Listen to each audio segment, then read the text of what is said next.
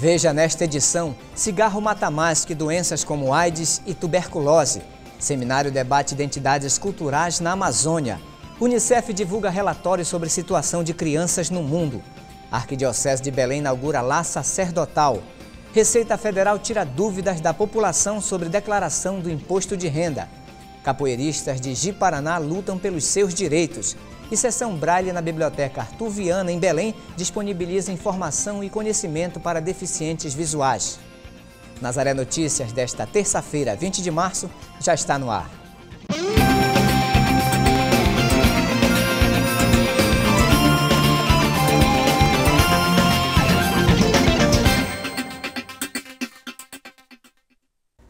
Um produto aparentemente inofensivo, mas que mata mais que a AIDS e a tuberculose e a malária. Nesta reportagem, entenda o que um simples cigarro pode fazer com a vida de uma pessoa. O cigarro é uma droga lista no Brasil e, por causa dela, há milhões de pessoas enfrentando quadros clínicos irreversíveis e morrendo aos poucos em todo o país. Ele é o produto de consumo mais vendido no mundo o cigarro causa 50 vezes mais mortes que as drogas ilícitas, sem contar com a perspectiva de vida dos fumantes que é reduzida em um minuto a cada minuto que estes passam fumando. Desde os 18 anos consumindo cigarros, Edilena decidiu apagar o fumo definitivamente há três anos. Eu fiz uma promessa para o meu filho, de tanto ele implorar para eu apagar o cigarro, para eu não acender o cigarro. Aí eu me penalizei, me comovi e eu fiz uma promessa para ele, que quando ele completasse 15 anos, ele nunca mais ia ter motivo para me fazer, me pedir para apagar o cigarro. Aí foi que eu parei mesmo. Quando ele completou 15 anos, eu nunca mais toquei no cigarro. Como ex-fumante, ela diz que a saúde melhorou. Eu não respirava direito, eu não podia caminhar um pouco, porque eu já estava mortalmente cansada. A minha pele mudou bastante era bastante ressecada. O cabelo, então.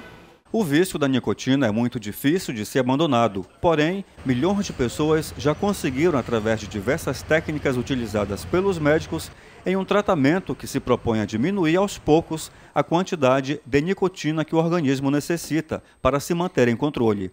A fumaça do cigarro exposta no ambiente depois de tragada é um cancerígeno do tipo A, o mais perigoso, isso traz sérios riscos à saúde das pessoas que não fumam.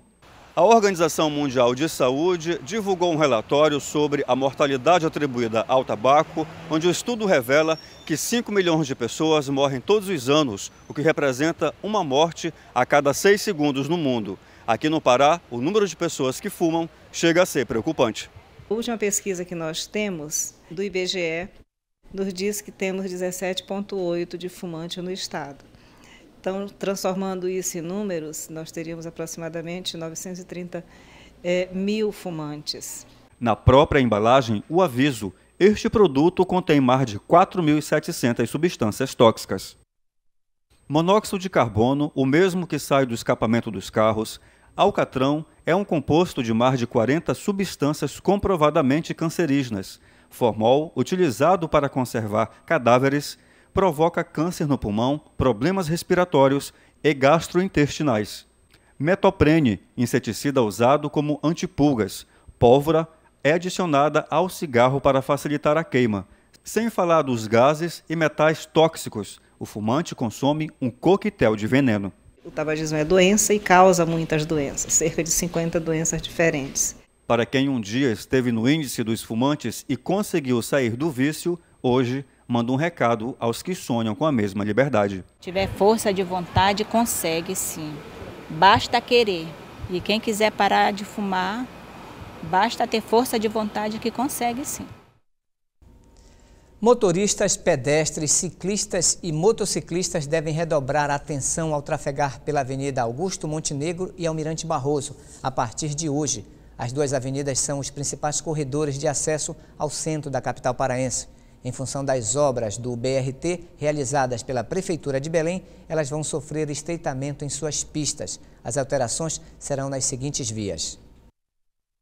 Na Augusto Montenegro, no perímetro entre a Rua do Una e a Rua da Marinha, no sentido Entroncamento e Coraci, e na Almirante Barroso, entre a Tavares Bastos e a Avenida Júlio César, no sentido São Brás Entroncamento. Agentes da Companhia de Transportes do município de Belém estão orientando o trânsito naquela região. Nesta manhã aconteceu em Belém o seminário Crianças e Adolescentes na Amazônia, Identidades Culturais e Territorialidades. O evento marca o primeiro aniversário da Escola de Conselheiros do Pará, que trabalha na promoção e defesa dos direitos de crianças e adolescentes. O evento contou com autoridades federais e estaduais. Música para animar a festa. Até teatro teve na festa de aniversário da Escola de Conselhos do Pará. Conselheiros tutelares de várias regiões do estado participaram da solenidade. Nós temos a missão de formar todos os conselheiros tutelares e de direitos da Amazônia paraense. A nossa formação ajuda a, elaboração do diagnóstico da situação no município, para que ele possa identificar os principais problemas que envolvem a violação de direitos, assim como ele possa fazer um levantamento da rede de garantia existente no município, que, é, que são as potencialidades que ele vai lançar mão para poder intervir na situação. A escola foi instalada em 11 de janeiro de 2011 e é coordenada pelo Instituto de Ciências da Educação da Universidade Federal do Pará. Neste primeiro ano de atuação, a Escola de Conselhos percorreu 144 municípios do Pará, formando pelo menos 530 conselheiros. E a estimativa é que até junho deste ano sejam formados um total de 900 conselheiros para todo o estado do Pará. Para acompanhar os resultados do trabalho no Pará, representantes da Secretaria Nacional de Direitos Humanos participaram do evento e anunciaram investimentos na defesa das crianças e adolescentes paraenses. O Conselho Tutelar ele passou a ser é, uma meta específica no PPA para os quatro anos. E dentro dessas metas específicas, nós temos a universalização das escolas de conselho, que aqui no Pará completa um ano hoje, né, uma escola que tem levado formação continuada de excelência aos conselheiros tutelares e de direitos desse Estado. E dentro das nossas metas, nós temos também uma para a região Norte e Nordeste, que eu vejo que vai dar uma nova, é, uma revolução nesse sistema, que é nós vamos equipar mil conselhos tutelares da região Norte e Nordeste. Né? E com certeza o Pará será contemplado em muitos conselhos tutelares.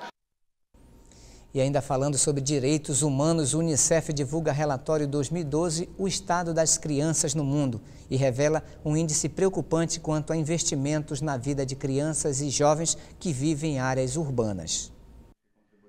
Para Ida Oliveira, oficial de comunicação do Fundo das Nações Unidas para a Infância, Unicef, aqui em Belém, o relatório O Estado das Crianças do Mundo, lançado oficialmente em fevereiro deste ano na Cidade do México, traz dados importantes sobre experiências de pobreza e exclusão vividas por bilhões de crianças e jovens de todo o mundo. Um relatório quer mostrar que hoje quase 80% de crianças e adolescentes no mundo todo estão vivendo em centros urbanos.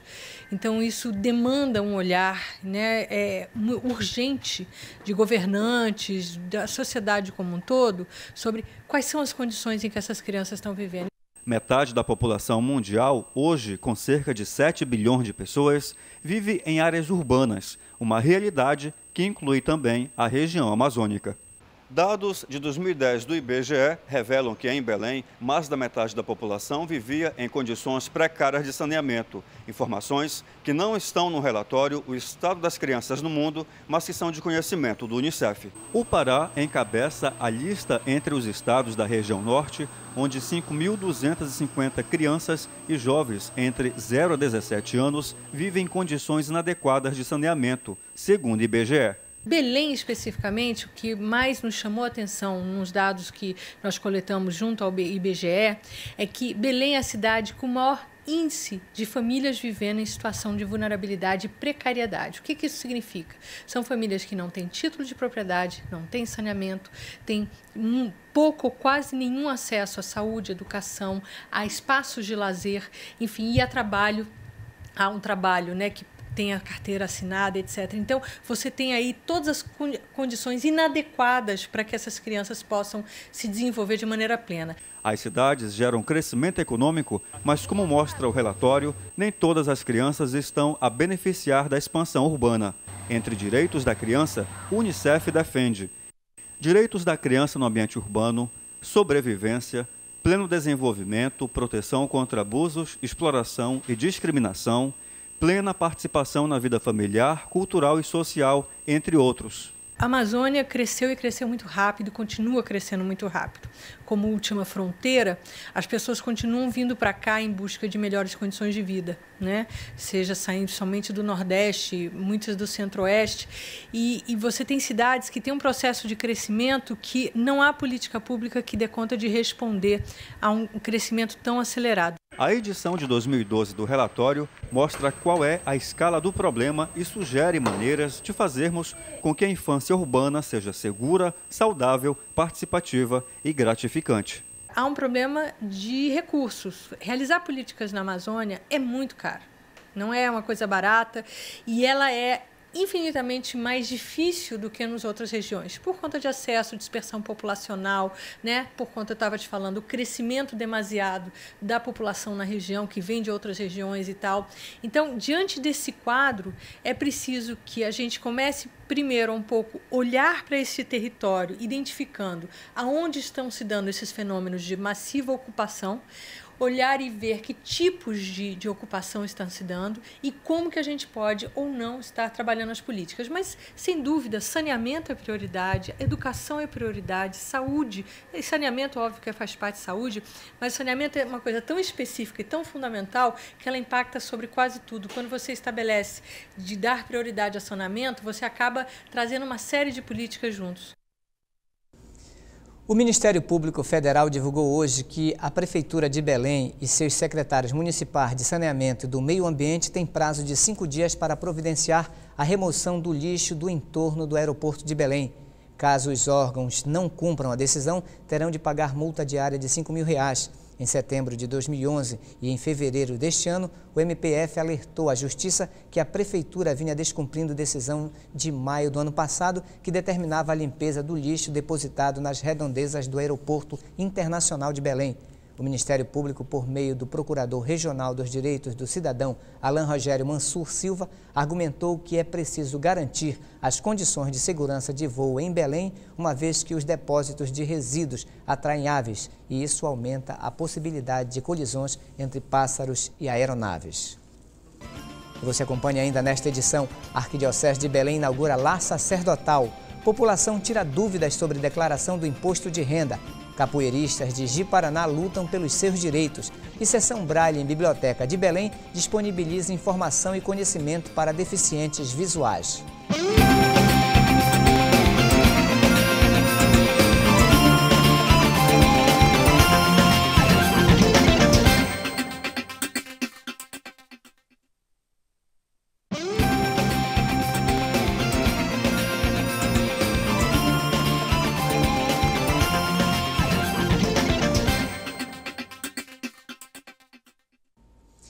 Os sacerdotes da Arquidiocese de Belém ganharam uma casa de acolhida. O ambiente amplo do antigo convento das Irmãs do Bom Pastor foi reformado e virou lá sacerdotal.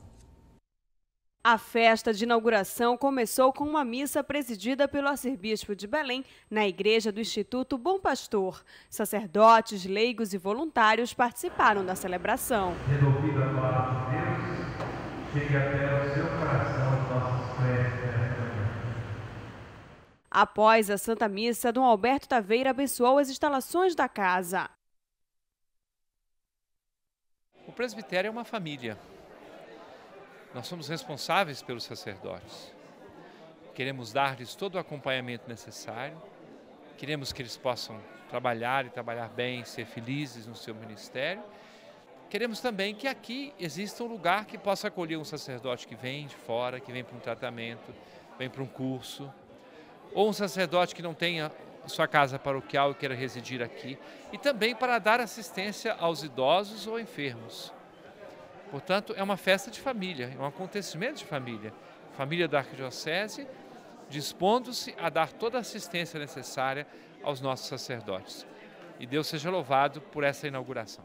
A casa servia de convento das Irmãs do Bom Pastor. Depois de oito meses de reforma, virou o lar sacerdotal da Arquidiocese de Belém.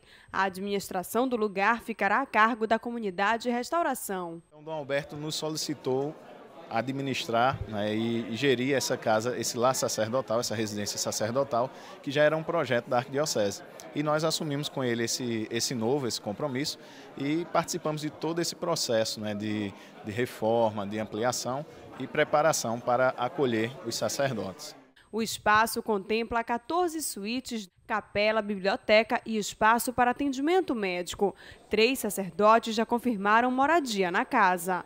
Chegou numa boa hora que a Arquidiocese de Belém tem a sua residência para os padres. Padres que não têm casa paroquial ainda, mas sim paróquia. Padres idosos, que nem eu também, né? já prestei muito serviço e estamos com perspectiva então de mudar para cá. A inauguração do lar marca o início das atividades, mas para a casa acolher os sacerdotes precisa de mais doações. Nós ainda precisamos de muita coisa para que a casa tenha um funcionamento normal. Quem quiser doar pode nos procurar aqui na comunidade, com a comunidade restauração, ou pode nos procurar é, na Cúria, falar com o diácono João da Graça, ou mesmo na sala da Caritas. É só dizer que quer fazer uma doação para o Bom Pastor, lá vai ter uma lista e a pessoa pode é, se informar melhor. O lar sacerdotal fica localizado no Instituto Bom Pastor, no início da BR-316, na região metropolitana de Belém. Nesta semana teve início uma oficina sobre a declaração do imposto de renda na sede da Receita Federal em Belém. Mais de 300 pessoas se inscreveram para esclarecer dúvidas sobre o preenchimento da declaração. As informações vão além de questões tributárias. Os alunos aprendem a ter educação fiscal e sabem por que pagam o imposto, onde ele é aplicado e como fiscalizá-lo. Sabendo a importância do que ela está pagando, do que ela vai vai ser, vai ser retirado dela em forma de tributo, ela sabe a importância de poder cobrar isso junto ao poder público, a boa aplicação desses recursos que vão para o, para o poder público. Participam da formação 300 contribuintes, contadores e técnicos. A demanda foi tanta que foram criadas 12 turmas. Nossa expectativa de imediato seriam treinarmos 250 pessoas e a procura foi tão grande que nós tivemos que ampliar para 300. O curso é importante tanto para os contribuintes quanto para a própria Receita, porque as informações divulgadas aqui evitam que as declarações venham cair em malha por preenchimento incorreto ou mesmo por informações colocadas de forma inadequada. O método informatizado da declaração foi adotado ano passado e gerou dúvidas daqueles acostumados com papel. Porque no papel poderia ficar algum erro para trás e, e, na, e na, na, informática agora ela, ela já te proporciona as informações que deverão ser preenchidas não tem dificuldade, nós mostramos os caminhos que elas devem procurar, se durante o preenchimento, depois de finalizado aqui a nossa oficina, como elas devem ser orientadas e elas saem daqui tranquilas. Em todo o Brasil, 25 milhões de contribuintes devem entregar a declaração até o dia 30 de abril.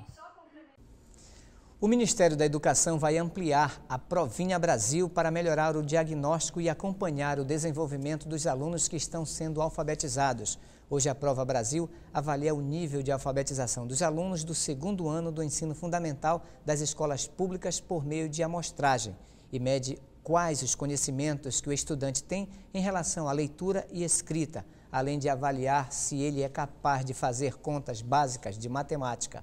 Agora, o MEC pretende submeter ao exame todas as crianças matriculadas no segundo e no terceiro ano do ensino fundamental.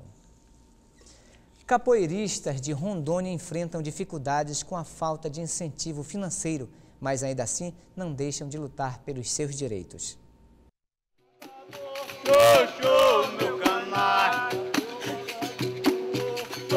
meu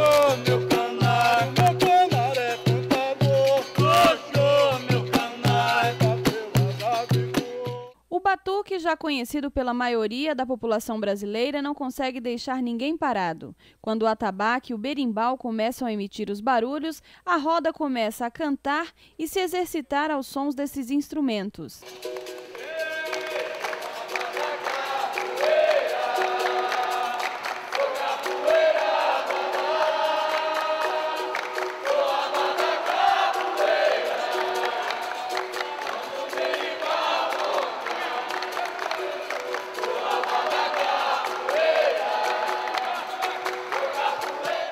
Assim que começa a capoeira.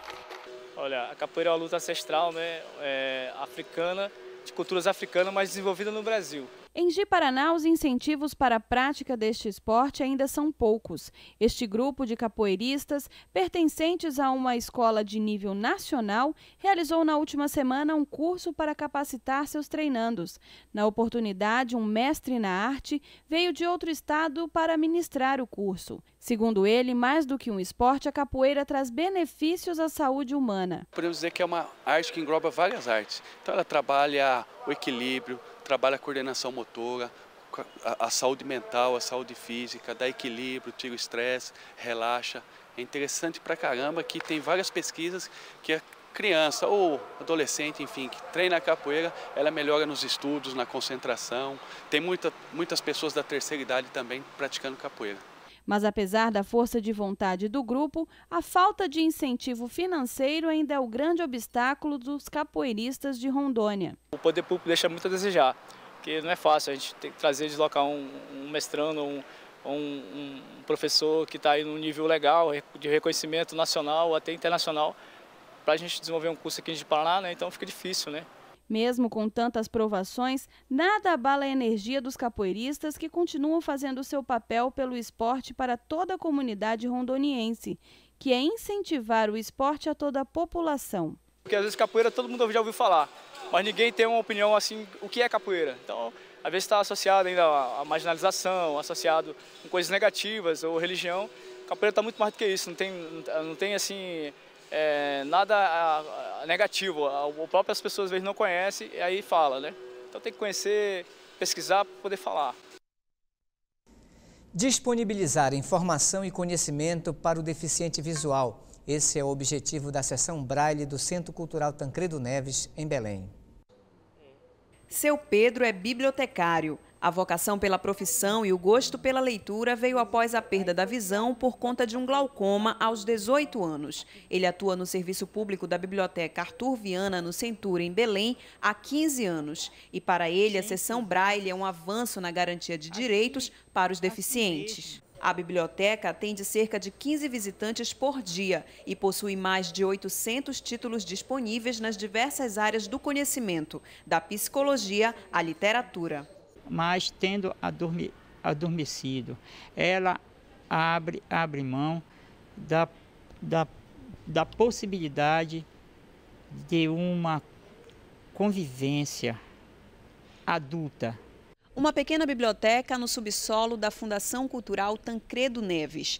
Lupa eletrônica, livros em áudio, digitalizados e em braille. Formatos que possibilitam ao deficiente visual a leitura independente de obras científicas e literárias. O clássico da literatura brasileira de Aloysio Azevedo, O Curtiço, em braille, ganhou oito volumes com 100 páginas cada um. Uma página de um exemplar em tinta, como costumam denominar os livros comuns, pode gerar de três a quatro páginas em braille. O deficiente visual poderá contar para o seu aprimoramento intelectual com esse serviço tão importante que lhe dará possibilidades de consultar textos justamente nos formatos em que ele pode decodificar. Para quem tem baixa visão, existe ainda a lupa eletrônica, que aumenta a visibilidade do material.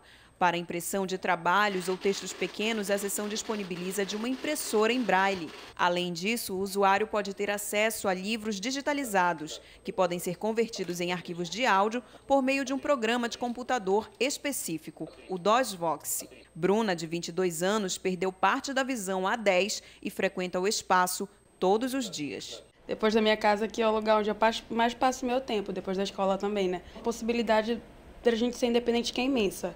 De leitura, de informações, tudo que a gente quiser a gente vai ter aqui, de informações.